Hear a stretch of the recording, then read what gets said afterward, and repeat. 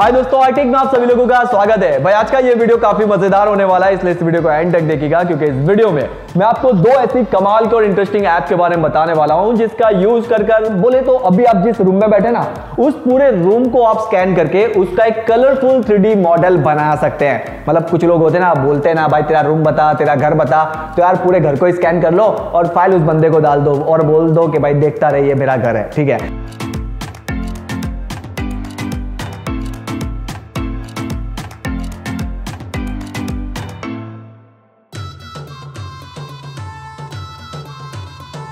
और उसी ऐप की मदद से आप सिर्फ़ एक फ़ोटो ही कैप्चर करेंगे और आपके चेहरे का एक पूरा का पूरा थ्री मॉडल भी रेडी हो जाएगा। साथ साथ में साथ साथ में जो दूसरी ऐप है ना, वो काफ़ी कमाल की है, क्योंकि उस ऐप की मदद से आप अपने घर में रही छोटी मोटी चीज़ें, जो भी है मतलब माचिस की डिब्बी है या फिर स्मार्टफ़ोन है, जो भी कुछ आपके सामने या फिर आपके आसपास पड़ा हुआ है, उनका भी आप एक थ्री मॉडल बना सकते हैं।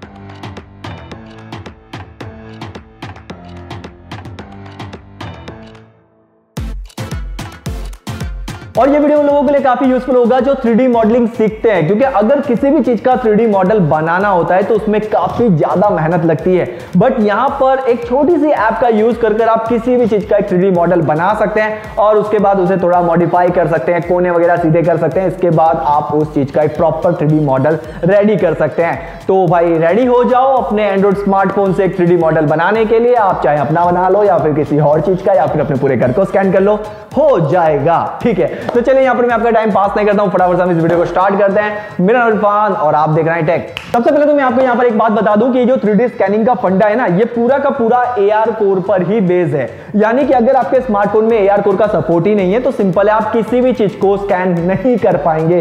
तो ये बात समझ लीजिए, ठीक है? तो आपके स्मार्टफ़ोन में ए कोर का सपोर्ट होना बेहद ही ज़रूरी है। अगर ए कोर का सपोर्ट नहीं है तो एक गूगल की ए कोर ऐप है, उसे इंस्टॉल कर लो, उसके बाद आप इन दोनों ऐप को ट्राई करना। अगर काम कर गई तो अच्छी बात है, नहीं की तो फिर कुछ और जुगाड़ करेंगे। तो हमारी लिस्ट में जो सबसे पहले ऐप है, इस ऐप का यूज़ कर कर आप अपने पूरे घर को स्कैन कर सकते हैं, या फिर अभी आप जिस रूम में बैठे हैं, उस रूम को भी स्कैन कर सकते हैं। बट एक बात समझ लीजिएगा कि आपको पूरे रूम को स्कैन करना है। तो इसमें थोड़ा सा टाइम भी लग जाएगा और आपके स्मार्टफ़ोन की बैटरी भी थोड़ी सी ज़्यादा ड्रेन होगी तो इसका आपको ध्यान रखना है। तो यहाँ पर मैंने मेरे घर का एक बड़ा हॉल है, उसे भी स्कैन किया था और मेरी जो ऑफ़िस है इसे भी मैंने स्कैन किया। हालाँकि मैंने फटाफट से स्कैन किया मतलब टाइम वेस्ट नहीं किया मतलब फटाफट मैं घूम लिया और फटाफट स्कैन करने की कोशिश की आपको दिखाने के लिए। इस वजह से इसकी क्वालिटी कुछ इस तरह की आई हुई है। बट अगर मैं धीरे धीरे आराम से स्टेप बाय स्टेप स्कैन करता तो आई होप मेरा रूम जो है वो काफ़ी अच्छे से और प्रॉपर स्कैन होता।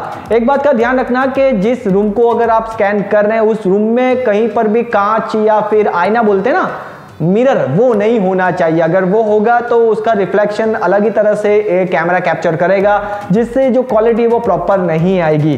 तो इसका आपको खास ध्यान रखना है, अगर मिरर यानी कि कांच अगर घर में लगा हुआ है तो आप उस पर कपड़ा ढांक दें, उसके बाद स्कैन करें। स्कैन करने के बाद सिंपल है, आप इस फ़ाइल को शेयर भी कर सकते हैं और तो और जिन सॉफ्टवेयर के अंदर थ्री मॉडलिंग होती है, उन सॉफ्टवेयर में आप इस प्रोजेक्ट को ऐड भी कर सकते हैं और कुछ मॉडिफिकेशन करना चाहते हैं कलर वगैरह चेंज करना चाहते हैं तो वो भी आप यहाँ पर कर सकते हैं। इस ऐप को यूज़ करना भी काफ़ी आसान है। सिंपल है, आपको स्कैन वाले बटन पर क्लिक करना है। क्लिक करने के बाद अगर आप अपने घर के अंदर का जो रूम है मतलब उसे स्कैन करना चाहते हैं तो सिंपल है, आपको टू सी एम पर क्लिक करना है। अगर थोड़ा सा बड़ा रूम है तो सिंपल है, चार सी एम पर क्लिक करना है। और अगर आप फटाफट स्कैन करना चाहते हैं तो 8 सीएम पर भी क्लिक कर सकते हैं। और जैसे आप स्कैन वाले बटन पर क्लिक करेंगे तो आपके स्मार्टफ़ोन का बैक कैमरा जो है वो ओपन हो जाएगा।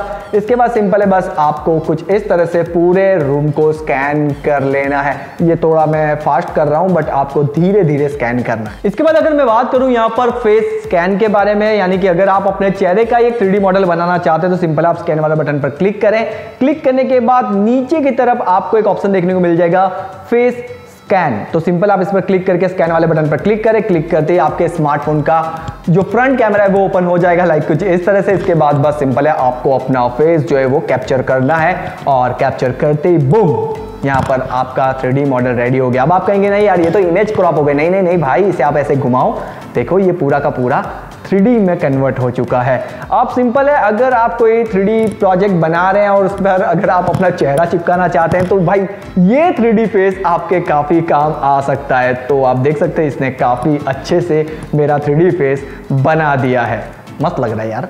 अब बारी आती है सेकंड ऐप की और इस ऐप की मदद से आप किसी भी छोटी या फिर बड़ी चीज़ का एक थ्री मॉडल बना सकते हैं। इस ऐप की सबसे कमाल की बात मुझे लगी कि ये ऐप जो है ना, वो frame by frame image capture करती है और एक प्रॉपर थ्री मॉडल बनाकर देती है।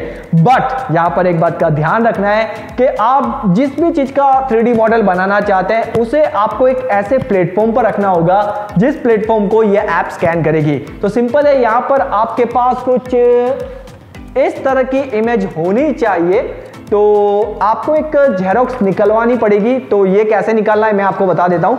तो सोचिए कि ये एक ए फोर साइज़ का पेपर है। तो यहाँ पर मैं एक छोटी सी चीज़ रख सकता हूँ, जैसे कि अगर मैं बात करूँ माचिस की डब्बी, माचिस की डब्बी बोलते हैं ना तो माचिस की डब्बी रख सकता हूँ या फिर कोई पेंसिल रख सकता हूँ। छोटी छोटी चीज़ मैं रख सकता हूँ। बट अगर कोई मुझे बड़ी चीज़ रखनी है, जैसे कि मुझे मेरा कैमरा रखना है तो ये काफ़ी बड़ा कैमरा है तो वो नहीं आ रहेगा। तो इसके लिए मुझे क्या करना है? एक बड़ी इमेज रखनी पड़ेगी लाइक कुछ इस तरह से। आप देख सकते हैं, मैंने चार इमेज को इकट्ठा करके एक पूरी की पूरी इमेज बनाई है। तो ये एक बड़ी सी जेरोक्स कह सकते हैं हम इसे।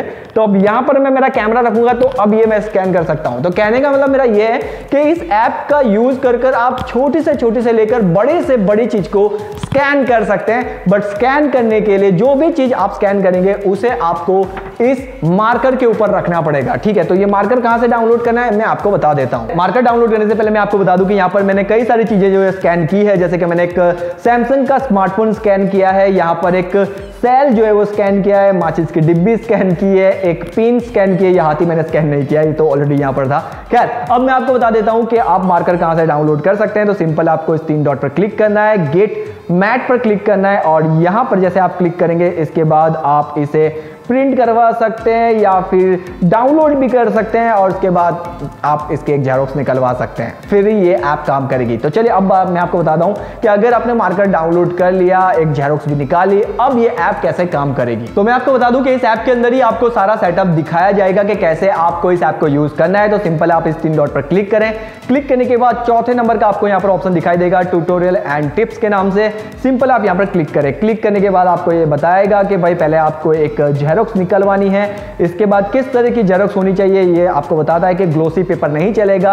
आपको बिल्कुल एक प्लेन पेपर चाहिएगा, जो कि हम नॉर्मल जेरोक्स में यूज़ करते हैं। इसके बाद पेपर कुछ इस तरह का होना चाहिए मतलब ऐसे मतलब हो जाता है ना, उसका डूचा वो नहीं होना चाहिए। इसके बाद आप देख सकते हैं, छोटी चीज़ तो छोटा पेपर यूज़ करें, और बड़ी है या फिर एकदम बड़ी सी चीज़ है तो उस तरह का पेपर आप यूज़ करें। मतलब जितनी बड़ी साइज़ का पेपर होगा, उतनी बड़ी चीज़ आप यहाँ पर स्कैन कर पाएँगे, उसका एक थ्री मॉडल बना पाएँगे।